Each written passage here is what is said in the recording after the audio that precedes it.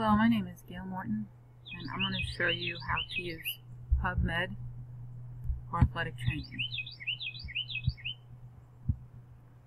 I'm going to scroll down. This time I'm going to go into databases. If I know the exact name of the database, I get this alphabetical list. I'm going to PubMed. I'm just going to click on the P's for PubMed. And I think it's down here. Here it is at the bottom. National Library of Medicine search engine. I'm going to do a simple search in here.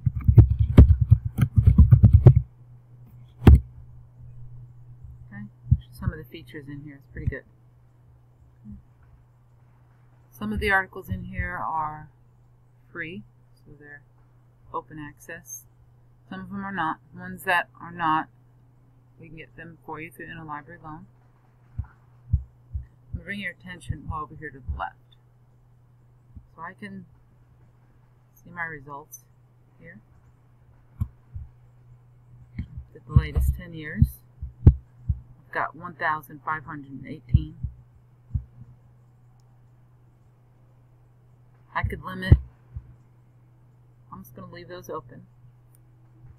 You notice how there's no peer reviewed on here? It's because they're all peer reviewed or they're all reviews or the books too. So it's we don't find like magazines in here. Um, you can look at clinical trials. You can look at meta-analysis. You can look at here's this uh, systematic reviews. So you look at all this and limit. Okay. Let's just see about this. I'm just going to click on one. I can find it here. And click here and find it at Mercer. But here it is. Here's the citation tool. Here's the format. Let's just switch it. And it's not correct. I mean, the information is there, but the format of it is wrong. So you can copy and paste that, just change the format. Okay, over here,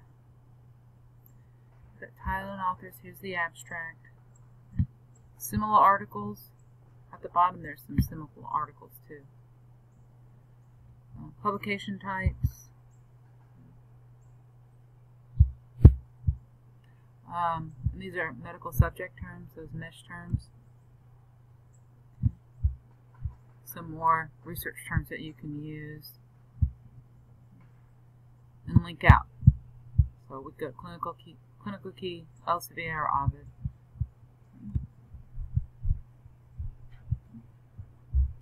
This is how you do simple search using PubMed for athletic training.